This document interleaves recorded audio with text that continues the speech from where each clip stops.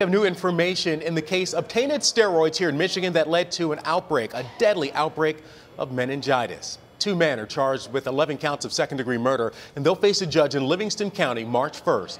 Barry Cadden is the founder of the New England Compounding Center, and Glenn Chin is a supervisory pharmacist. Right now, both men are serving federal prison sentences. They're charged in the 2012 scandal involving tainted steroid injections. 15 people were killed in Livingston County, and others were left fighting serious medical problems. The Centers for Disease Control says more than 750 patients in 12 states came down with meningitis. 264 of those patients were right here in Michigan.